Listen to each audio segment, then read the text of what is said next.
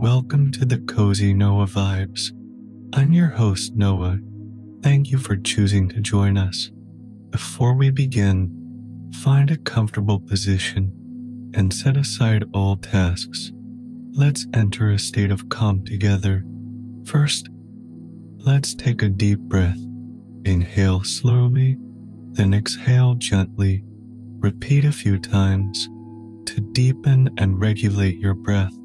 Now, use your senses to feel every part of your body from head to toe. Notice any tension or discomfort. Simply acknowledge their presence. Don't try to change them. As you continue to breathe deeply, let's gradually release the tension in your body, starting from the head and moving downward, gently releasing each muscle. Feel the comforting lightness, like an invisible comforting hand gently embracing you. Shift your focus to your thoughts. Don't try to eliminate them. Just let them drift by quietly, like clouds drifting in the sky. You are merely an observer, unaffected by these thoughts. Let's take another deep breath, absorbing the peaceful and serene energy. In this moment, you are safe and tranquil. Anything can wait until tomorrow. Thank you for participating in tonight's scientific relaxation moment. May you have a peaceful night. Now, as you drift off to sleep, let's listen to a story. In mythology, there is a mysterious place that connects heaven and earth, and it is said that there lives a group of monsters that are neither human, ghost, nor God. These monsters possess mysterious supernatural powers and extraordinary strength, and although filled with divine majesty, they also retain the seven passions and desires of humans and the sinister and evil nature. They are irritable and warlike, love fighting and killing, and even fought a fierce war with the god Indra, known as the Fire Heaven.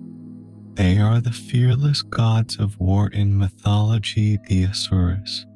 Everyone has more or less heard of these battle loving ghosts and gods, and no matter what work they appear in, they always cause a stir, leaving behind a legend that is both admirable and yearning.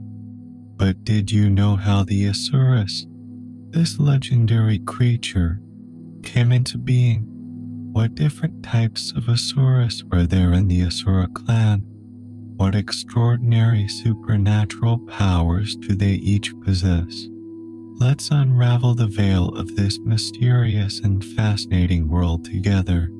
In Indian mythology, the gods headed by the tenth day are usually revered as devas, but the meaning of the name Asura is the opposite of deva, meaning flying in Buddha heaven. It is said that this is because although the Asuras believe in Buddhism and are inherently good natured, their personalities are completely different. They not only possess the seven passions, and desires of humans and the heart of resentment, but are also obsessed with revenge and fighting and use violence to punish criminals.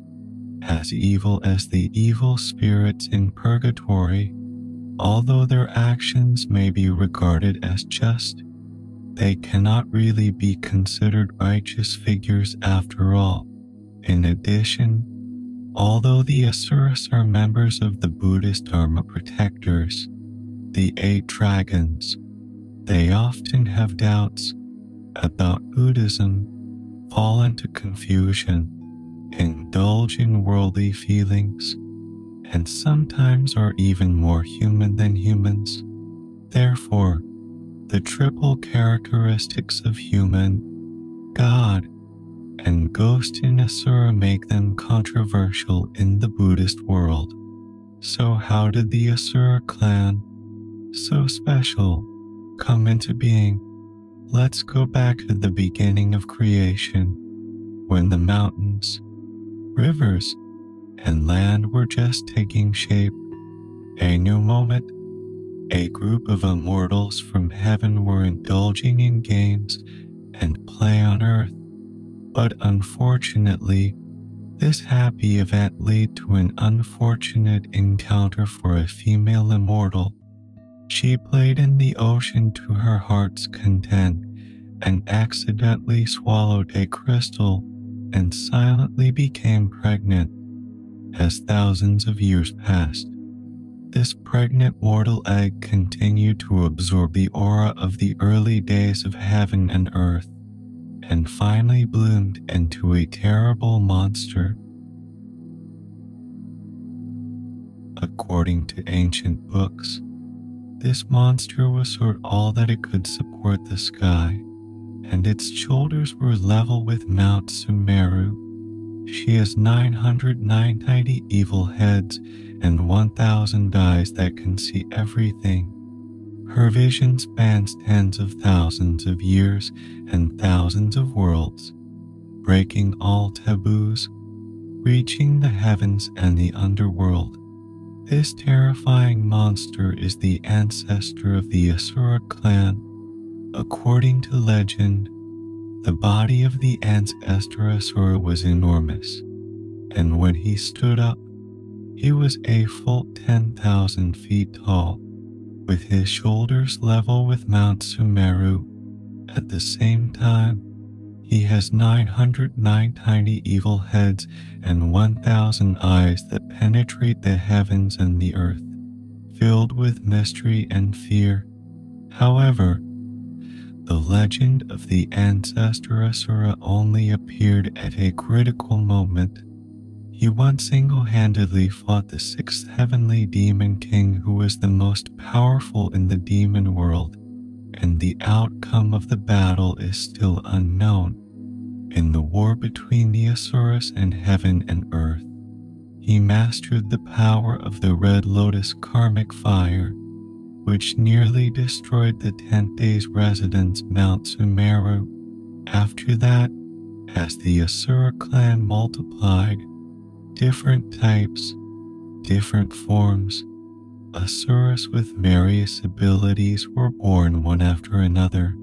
Although the life experience of the ancestor Asura is very mysterious, the prosperity and growth of the Asura clan is an undeniable fact. In the ocean of the Desire Realm, countless Asuras kill each other every day. They are fierce and warlike, and they are not afraid of death. When Asuras die in battle, their bodies and broken arms dissolve into the sea, turning the sea into a sea of blood filled with a strong stench. But interestingly enough, this sea of blood also seems to have also seems to have a life and consciousness of its own. When an Asura dies in battle in the Sea of Blood, the flesh and blood of the sea automatically gathers together and slowly hatches into a new and more powerful Asura. Therefore, as long as you are in the sea of blood in the world of desire, the Asuras can live and die and become stronger and stronger in the tens of thousands of times of life and death battles every day, the Asuras have never been defeated, and they are the most powerful beings in the Asura clan, the legendary four great Asura kings. In Indian mythology, there are many Asura kings, but the most powerful and famous are the Asura four kings. Each Asura king has a legendary experience and story, leading different types of Asuras with different abilities. In the Asura clan mythology, Venzaloto, also known as the Abyss King, stands as one of the oldest and most formidable Asura kings. His epithet garland suggests his possession of nine heads and 990 arms, unleashing staggering power akin to a garland when he strikes, catching adversaries off guard. Themsalodo can traverse the three realms at will, with none capable of impeding his actions, leading the Asura multitude known as the Celestial Asura. They wield the power to summon the Red Lotus karmic fire, incinerating all worldly entities while remaining impervious to external forces. Themsalodo left an indelible mark in Asura clan history with his exceptional combat prowess and leadership skills. Another prominent Asura king, Rahu, derives his name from covering, owing to his colossal stature among all Asuras, towering and with arms as vast as mountains. He effortlessly obscures the sun and moon with his immense power, disrupting celestial trajectories and inducing phenomena of celestial anomala of celestial anomalies. Often depicted as the most malevolent and sinister of all Asura kings, Rahu leads the livestock Asura possessing formidable strength to control their size at will and wield the power to move mountains and fill seas with astonishing force. Legend has it that Reha's birth, marked by his enormous size and extraordinary power, caused upheaval in the Asura realm, leading to his mother's demise from dystocia. From a young age, Rahu was revered as the paramount leader of the Asura realm, prompting many Asuras to challenge him in attempts to prove their prowess. However, Rahu effortlessly vanquished them all, even consuming them. With time, Reha's power burgeoned, and he established his own faction of Asuras their influence grew exponentially, eventually becoming a dominant force in the Asura realm. However, their tyrannical conduct elicited opposition from numerous Asuras, prompting efforts to unite against Treha's authority in a climactic battle. Rahu succumbed to attacks from multiple Asuras and met his demise. It is said that the Asura king Kumbhira is one of the most prestigious and powerful kings of the Asura clan. When he was born, he was endowed with amazing power and a wild nature. His shoulders were as wide as a mountain, and his fists were as hard as stone. Aror could shatter the earth and destroy the souls of tens of thousands of enemies. Kumbhira ruled the Asura capital and led the ghost Asura, who had amazing abilities, able to travel freely through the sky, the earth, and the ocean, and switch between the virtual and the real at will.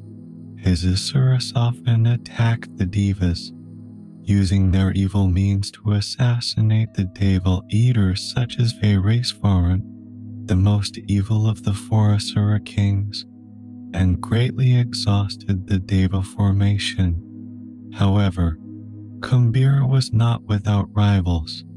In the Asura clan, there was also a powerful Asura named Agani, who had the ability to silence the enemy, which made Kumbhira a bit of a headache. In the Asura world, the battle between the two caused a sensation and became a legend in history. Legend has it that Kumbhira eventually defeated Agani, but was injured in battle and has since retired from the Asura throne, becoming a legendary figure in the Asura world. The Asura king Vairasvaran is one of the four great Asura kings. His name means eternal health, implying that he possesses eternal strength and vitality. Vairasvaran is an ambitious and arrogant Asura king. He is eager to control the entire Asura world and use his powerful strength to rule the world. He led an army called the Asura Heaven Shah, who are proficient in using flame attacks and assassination techniques. However, Vairasvaran's ambition ultimately led to his downfall. He challenged heaven and tried to overthrow the rule of the Jade Emperor, but was eventually defeated by the gods of heaven. In battle, he was forced to absorb a lot of the heavenly power of man, making his power extremely unstable. In the end, he was defeated by the heavenly people. His body exploded, and his soul was trapped in the abyss, never to be reborn. Vairasvaran's failure plunged the Asura world into chaos and turmoil. The other Asura kings and their armies fought fiercely for Vairasvaran's power and territory. After hundreds of years of turmoil and war in the Asura world, it was finally unified by the Asura king Rahu. In the legend, Devasibana was the commander in chief of the Asura's battle against the fourth heaven. Whenever he captured a Deva general, he would devour him alive and absorb his energy, making his strength stronger. The one he lead is the human Asura, which is the most valiant part of the Asura. When it comes to the most valiant type of Asura, one has to mention the human Asura. This kind of Asura is not only born with three heads and six arms, but also proficient in all the fighting skills in the world, making them extremely fierce in battle. In ancient legends, it was under the leadership of the Asura kings that the Asura crowd fought fiercely with the Devas led by the tenth day in the 33 heavens. Their battles were thrilling, and the most intense battles own is the origin of the term Shurafield that we hear today. It can be said that these human Asuras won the awe and praise of the entire Asura world with their unparalleled bravery and fighting skills. Now, as we conclude our time together, may the serenity of this moment linger with you through the night. Remember, you hold the power to create your own dreams. Filled with wonder and possibility, rest deeply Tomorrow holds endless opportunities for growth and joy. Until we meet again, sleep well and embrace the beauty of your own imagination. Good night and sweet dreams.